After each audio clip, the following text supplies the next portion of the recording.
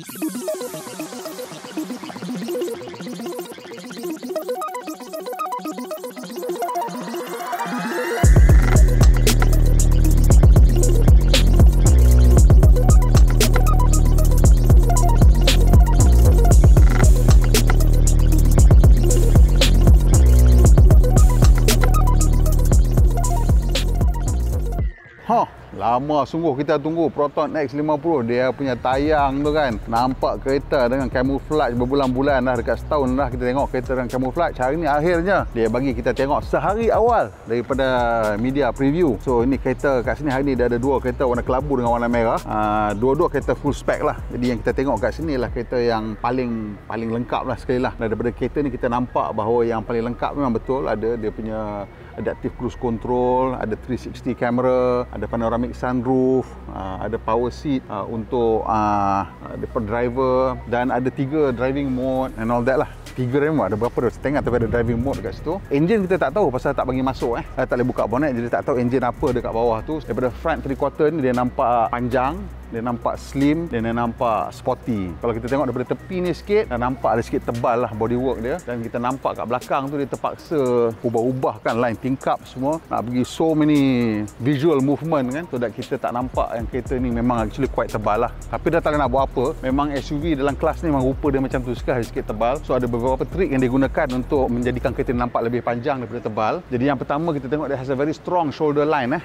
Daripada bonnet tu kita tengok dia, dia scallop ke bawah macam tu semi clamshell shell tu tarik It's very strong shoulder line to sit everything. The glass house semua duduk atas the strong shoulder line. Jadi yang tepi ni it's a big chunk of metal kan. Kalau dia tak buat apa-apa nampak very flat sided very tebal. So dia buat macam-macam all sorts of scallops and lines kat situ. So itu nampak mengurangkan sikit lah dia punya visual bulk of the car. Dan finally dekat bahagian bawah tu dia kena letak parts yang warna hitam to separate the top from the center. So kita tak nampak sangat yang bawah tu. So in the end the car looks a bit slimmer. But actually the bottom of the car uh, sampai ke bawah sana lah. So itu uh, among the visual tricks yang dia gunakan untuk menjadikan kereta ni nampak lebih uh, sporty and lebih uh, muscular lah. Kita tak nak cerita sangat pasal fit and finish kereta ni pasal probably kereta ni kereta uh, pre-production pasal memang ada few parts fit and finish yang kita nampak macam tak berapa nak ngam sangat lah so ini dia punya keyless entry punya note tu eh dan bila kita tengok kat bawah ni dia punya door tu tak habis dia tak tutup habis lah sampai situ saja so tutup sampai sini eh So some of the uh,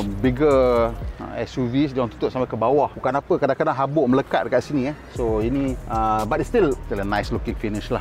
Okey, dia punya interior kereta yang ada kat depan kita ni lah kereta full spec ni memang two tone interior. Uh, yang ni warna macam mana macam tanah liat lah. Uh, macam red clay eh. So kat sini pun ada juga finishing red clay dia contrasting dia punya stitching pun uh, ada macam stitch warna macam red clay itulah dia macam almost purple punya color ni. So that's quite a nice uh, finish on the overall design of the seats. And dia ada all these little little things. This white trim kat sini ni helps to further define the seats lah. And the seat design pun quite okay. The side bolsters are quite uh, aggressive. So kalau kita nak bawa laju-laju pun nampak macam okay lah. And dia punya uh, bottom of the seat pun cukup panjang untuk under thigh support. So kalau you notice sebelah sana ada power seats. Uh, sebelah sini tak ada sebelah sini manual. So hanya satu seat saja dapat power seat untuk the top spec. So kita start dengan uh, the center console ni. Jadi dekat center console ni sebelah sini passenger uh, very nice touch dia letak uh, grab handle eh. So kalau kita nak pergi off road sikit-sikit kan dia ada tempat untuk passenger pegang lah. Not necessary but quite a nice touch lah. Kita kat sini ada slot macam slot boleh letak card ke phone ke apa ke dan sini ada dua cup holder kan. Kat sini kita tengok ada the different drive mode, sports, eco. Standardnya mungkin tak payah tekan kot dia memang memang eco atau sport. Saya tak tahu sama ada dua atau tiga tapi ada dua butang kat sini lah. Ni ada macam hill hold assist, 360 camera, auto park brake, oh parking.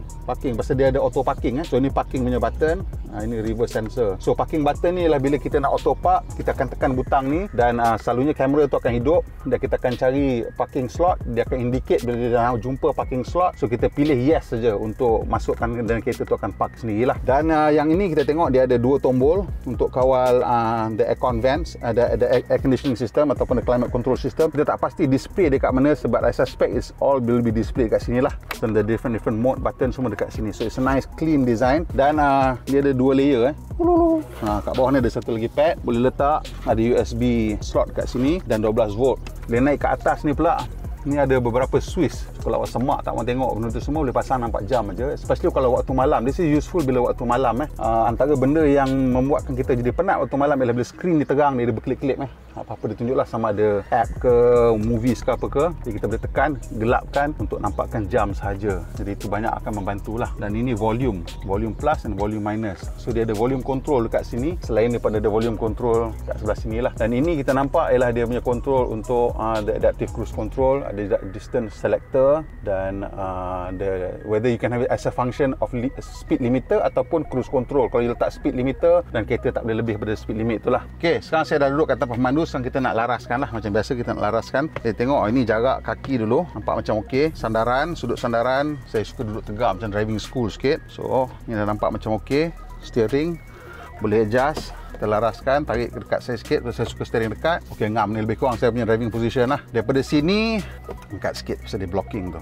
A bit high lah the steering for my liking but that's fine. At least dia tak blocking any of the instrument cluster. That's a full digital instrument cluster. Uh, screen ni pun tak ada apa yang blocking. Dan kereta ni kereta kecil yang sebi segment car so everything is within reach. Because it should be within reach lah.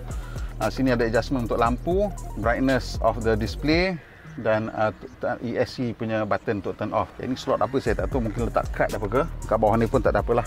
That's the, the sitting position. Tas ruang kepala saya memang duduk rendah. So ada penuh empat jari eh. So no real issue walaupun ada sunroof uh, tempat duduk depan ni. Uh, so no problems lah. And kita suka tengok semua everything soft touch plastik sampai atas ni.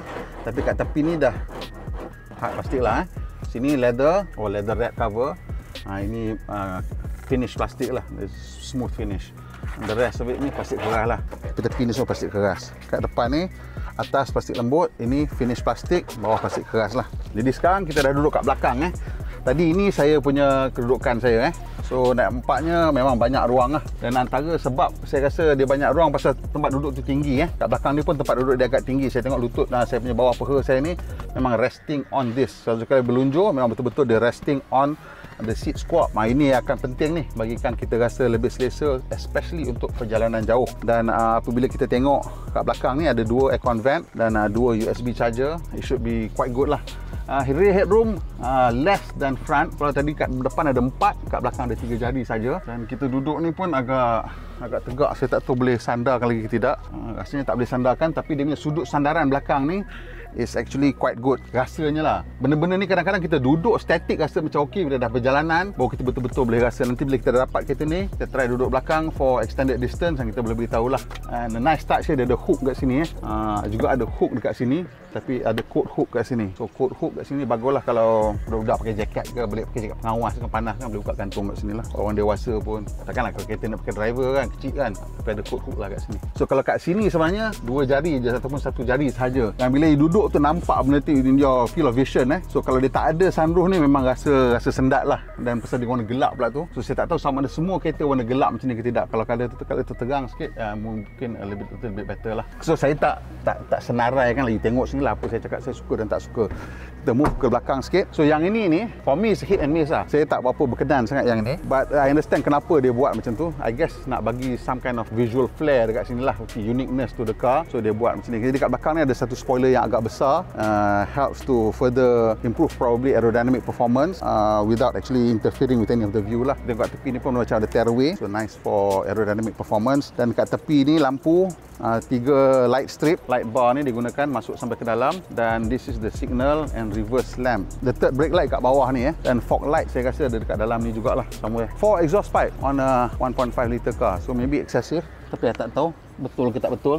Empat-empat exhaust keluar. Betul. So dia real exhaust pipe. Uh, ini diffuser style ni dia ada macam carbon fiber finish sama macam kat depan. Dia ada uh, splitter spoiler kat bawah tu pun carbon fiber finish juga. Ni ada macam fake vent sikit lah. But overall the design is quite co coherent lah. Uh, Geely punya design is quite coherent now. Cuma daripada tepi tu uh, daripada X70 sampai sekarang yang ini pun saya rasa macam tebal sikit lah. But itu yang tak boleh nak avoid because that's the nature of the car. You nak tinggi nak ruang cabin. Suka tak tahu. Kalau suka boleh pergi booking cepat-cepat sebelum orang lain berebut tunggu lama. Uh, but this car dia punya size dia lebih kurang macam Renault Capture uh, Toyota CHR Kia Seltos tu besar sikit tak boleh lawan dengan arus. Arus panjang 7 seater dia hanya 5 seater so sempit dalam kabin dia lain rasa. But it's a very high spec car. So sekarang kita tunggu harga je. Alright jumpa lagi